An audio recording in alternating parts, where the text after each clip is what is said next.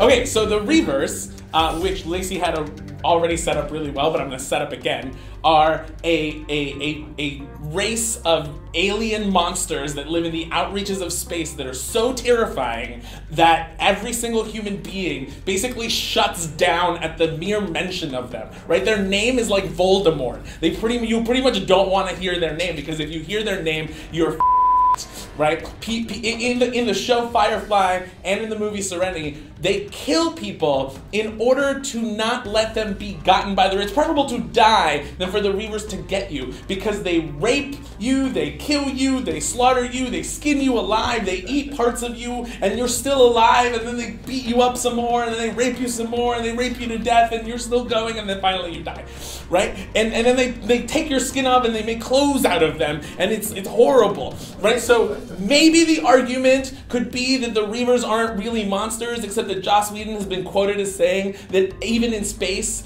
that you needed a monster. Every story needs a monster, so he created the Reavers specifically to be the monsters of space. They are the monsters of space. Second of all, they deform themselves. They're so So the Pinhead and the Cenobites, they exist in a universe where what they enjoy is like hedonistic pain pleasure. So everything that they're possibly gonna do to the Reavers, the Reavers are gonna like it. They're gonna be like, cut me, rape me, beat me, do it, and then they're gonna eat them. Second of all, the Reavers are so mad with anger that they're never gonna figure out the puzzle box. They're probably to just throw the puzzle box out into space or melt it or use it to kill other people. They'll use the pinhead box to rape other people instead of ever actually opening it and letting them out in the first place.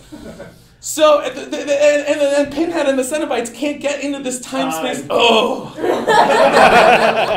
I should have called it when you made that horrible motion. well, Michael, you did a great job. The Reavers are totally terrifying. I agree with everything that he said, mostly.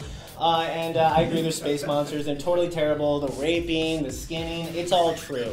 The thing about the Cenobites are is they're pretty much like the worst thing in the entire universe, okay? Basically, if you can like unlock them from this box, they rule this hell dimension where essentially they just torture you forever just for fun, just because they think you want them to torture them.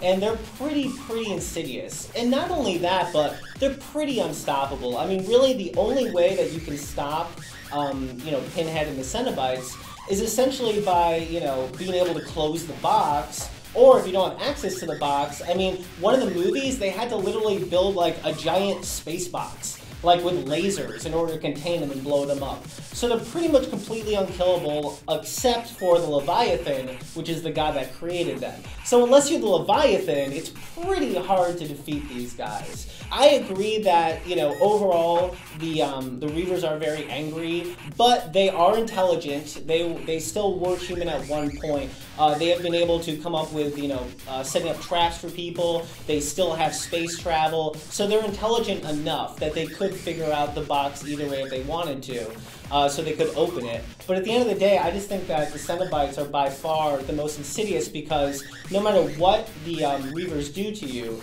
no matter if they like rape you, no matter if they skin you alive, sooner or later your torment's to end. I mean, the worst possible scenario is either it lasts for a long time, you die, or you become a Reaver yourself. With Pinhead and Cenobites, it's eternity. Like, you're tortured forever. Like, that's why Frank had to get out. He knew that this would last forever. He freaked out, and there's no way that I can last through this. So, as horrible as the Reavers are, still, death sooner or later is much better than torment for eternity. Okay, so first of all, even if they figured out how to open the box, oftentimes when the Cenobites are depicted, they already have a target that they've set out for some most of the time, and they wouldn't even set out to get the Reavers because again, the Reavers are just going to enjoy everything they're going to do to them, so that kind of defeats the purpose. Second of all, once if they if they were to let them out, and if they're intelligent to let them out, then they're intelligent enough to put them back in the box. Um, whereas the Reavers will just keep multiplying, they'll just keep making other human beings into Reavers. So sure, maybe if they get you into hell, your torture will go on forever, but that's only if they get you into hell. Whereas the Reavers you have to deal with in the real world. This is a very, very tough one to decide. On the one hand, the torture by the Reavers is worse, but it ends eventually. The torture by Cenobites and by Pinhead is perhaps not to the extreme. I mean, it sounded like an entire catalog of horrible things that happen to you before you die.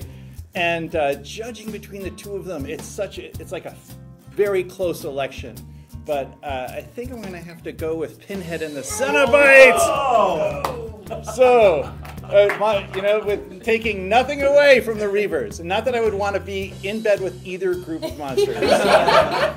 They never win. Thank you. All right, so Pinhead and the Cenobites moving on to the semifinals, taking down the Reavers with their chains and their hooks and their craziness. So let us know what you think in the comments down below. Check out the links in the description. Come back for the rest of Monster Madness and more Cinefix.